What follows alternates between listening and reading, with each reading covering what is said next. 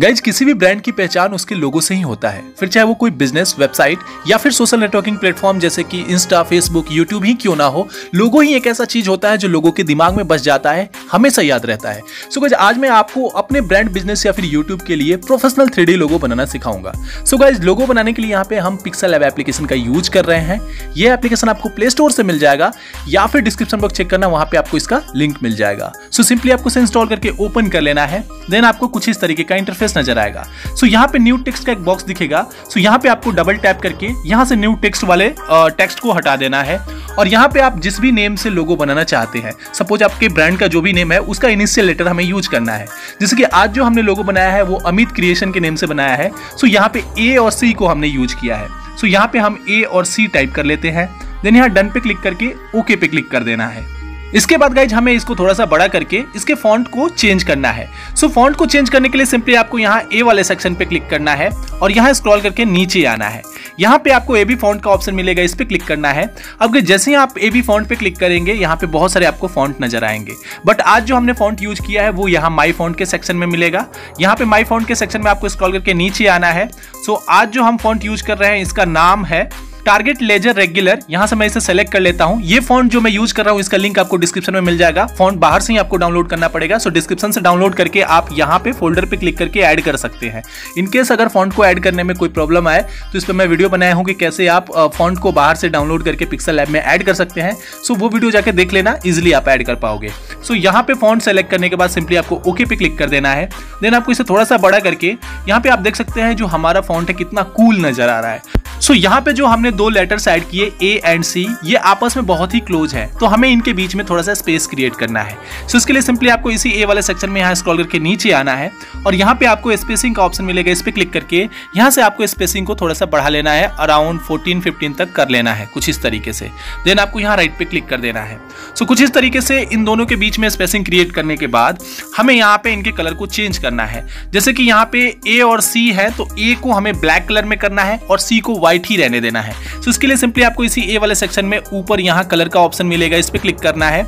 और यहाँ से आपको सिर्फ़ ए वाले सेक्शन को यहाँ नीचे सेलेक्ट करने का ऑप्शन आएगा। तो सिर्फ़ ए वाले सेक्शन को सेलेक्ट करना है और यहाँ से इसके कलर को ब्लैक कर लेना है। लाइक दिस देन आपको यहाँ राइट पे क्लिक कर देना है।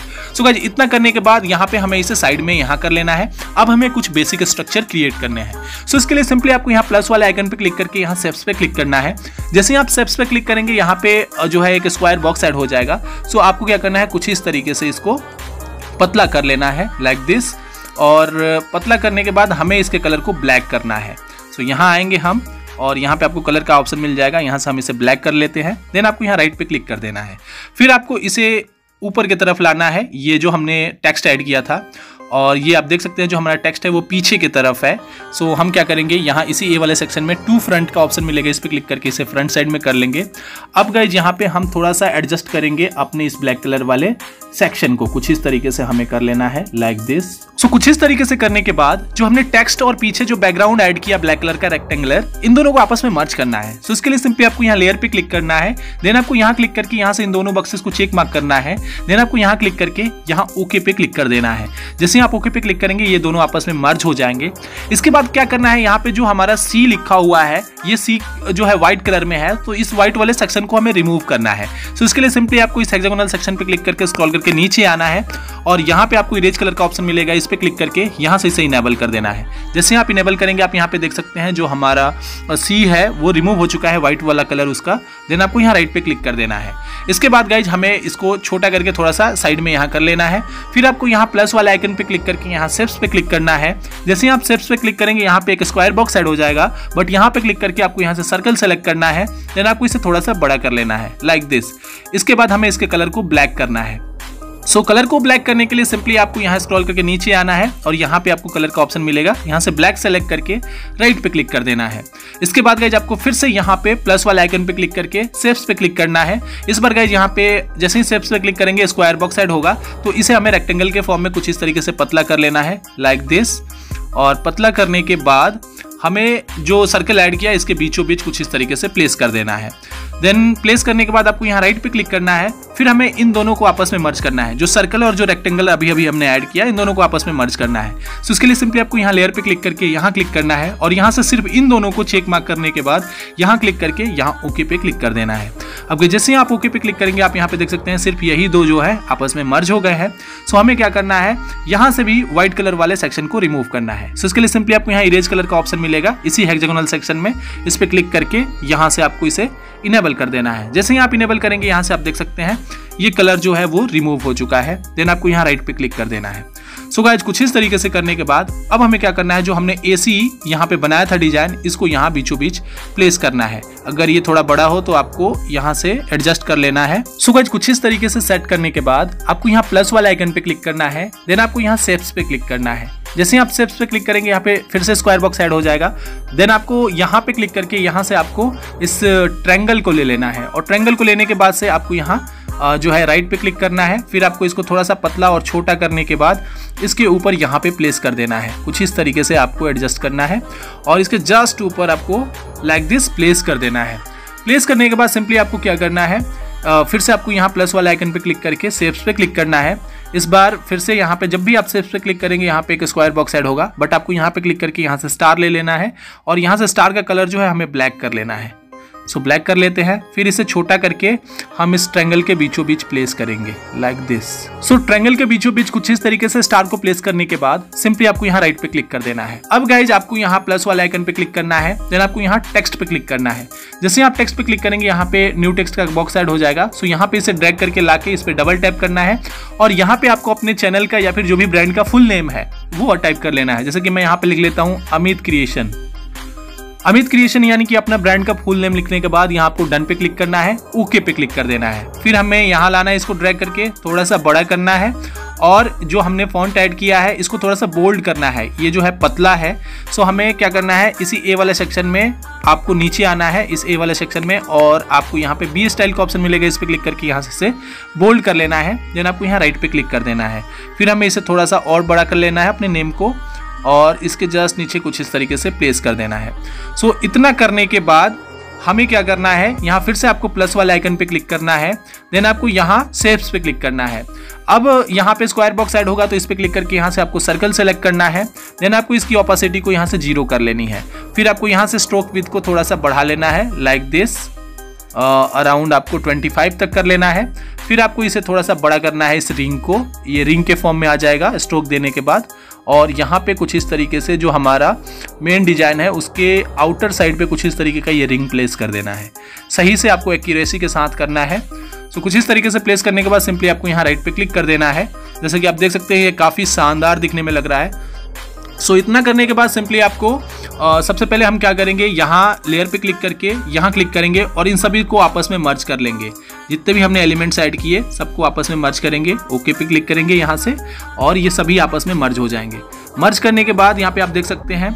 अब हम यहाँ से जो भी व्हाइट पोर्सन है इस लोगों के अंदर का, जैसे कि ट्रायंगल ऊपर वाला और जिस, नीचे जो हमने नेम ऐड किया है, इनको रिमूव करना है। सो इसके लिए सिंपली आपको यहाँ हेक्सागोनल सेक्शन पे क्लिक करके नीचे आना है और यहाँ पे आपको इरेज कलर का ऑप्शन मिलेगा, इस पर क्लिक करके यहाँ से इनेबल कर देना है।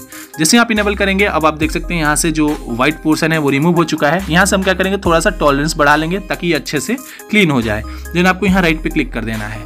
इसके बाद गए आपको फिर से यहाँ प्लस वाला आइकन पे क्लिक करना है। सेव्स पे क्लिक करना है। जैसे ही आप यहाँ पे स्क्वायर बॉक्स ऐड होगा, इसको इस तरीके से छोटा कर लेना है। बिल्कुल छोटा। फिर यहाँ राइट पे क्लिक करके यहाँ पे आपको इसी हेक्सागोनल सेक्शन में ऊपर आना है और यहाँ टू बैक पे क्लिक करके जो हमने डॉट क्रिएट किया, उस स्क्वायर बॉक्स को छोटा किया, उसको पीछे की तरफ़ सेंड करके लेयर पे क्लिक करना है। फिर यहाँ क्लिक करके यहाँ से इन दोनों बॉक्सेस को चेक मार्क करना है और यहाँ क्लिक करके ओके पे क्लिक कर देना है। अब गए ये जो है आपस में मर्ज हो गए हैं। अब यहाँ से हम इसे सिल्वर टेक्सचर में करने वाले हैं। क्योंकि आज जो हमने लोगो बनाया है वो सिल्वर कलर में है। सो इसके लिए सिंपली आपको यहाँ इसी हेक्सागोनल सेक्शन में आना है और नीचे आपको टेक्सचर का ऑप्शन मिलेगा। इस पर क्लिक करना है। देन आपको यहाँ इमेज पे क्लिक करके जैसे आप इमेज पे क्लिक करेंगे आप अपनी डिवाइस की गैलरी में चले आएँगे।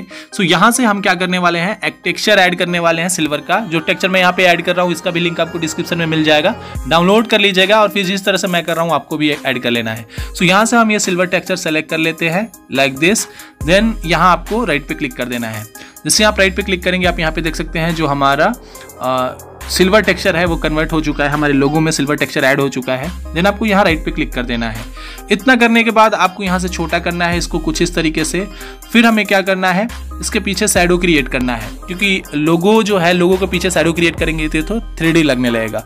सो इसके लिए सिंपली आपको इसी हेक्सोनल सेक्शन में नीचे आना है और यहाँ पे आपको सैडो का ऑप्शन मिलेगा, इस पर क्लिक करके यहाँ से इसे इनेबल कर देना है।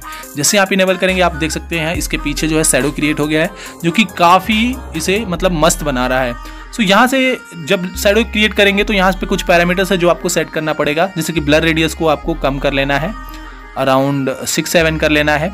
और यहाँ से एक्स ऑफसेट को आपको थोड़ा सा बढ़ाना है लाइक like दिस और वाई ऑफसेट को भी बढ़ा लेना है आपको ठीक है? सो so, जैसे आप एक्स और वाई को बढ़ाएँगे ये काफ़ी थ्री लगने लगेगा।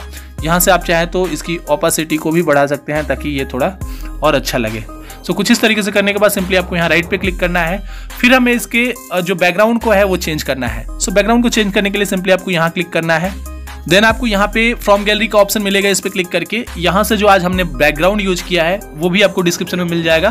वो डाउनलोड कर लेना। फिर जिस तरह से ऐड कर रहा हूँ, आपको भी ऐड कर लेना यानी कि जितने भी एलिमेंट्स मैं यूज़ कर रहा हूँ यहाँ पे इस लोगो को बनाने के लिए सबका लिंक आपको डिस्क्रिप्शन में मिलेगा, जाके आप वहाँ से डाउनलोड कर सकते हैं। सुगज अपनी गैलरी से बैकग्राउंड सेलेक्ट करने के बाद सिंपली आपको यहाँ राइट पे क्लिक कर देना है। सुगज जब आप देख पा रहे हैं यहाँ पे हमारा जो है बैकग्राउंड चेंज हो चुका है। बैकग्राउंड चेंज करने के बाद यहाँ पे अगर आप लोगो बना रहे हैं किसी प्रोफ़ाइल पिक्चर्स के लिए, चाहे वो फेसबुक इंस्टा वगैरह हो तो उसके लिए एक स्टैंडर्ड साइज़ होता है लोगों का। सो उसके लिए हमें यहाँ पे इस लोगो को रिसाइज करना होगा। इसके लिए सिंपली आपको यहाँ कॉर्नर में एरो पे क्लिक करना है। देन आपको यहाँ इमेज साइज़ पे क्लिक करके यहाँ से प्रीसेट में कस्टम मिलेगा। इस पर क्लिक करके और यहाँ से आपको प्रोफ़ाइल पिक्चर सेलेक्ट कर लेना है देन आपको यहाँ ओके पे क्लिक कर देना है। अब गाइज़ ये स्क्वायर शेप में ही हमारे लोगों को एडजस्ट करना है यहाँ बीचों बीच। देन हमें इसे सेव कर लेना है। सो so, सेव करने के लिए सिंपली आपको यहाँ पहले हम बीच में कर लेते हैं सही से ताकि ये अच्छा लगे ऐसा ना हो कि इधर उधर हो सेंटर में हम सही से अलाइन कर लेते हैं। देन सेव करने के लिए सिंपली आपको यहाँ पे क्लिक करके यहाँ सेव एज इमेज पे क्लिक करना है।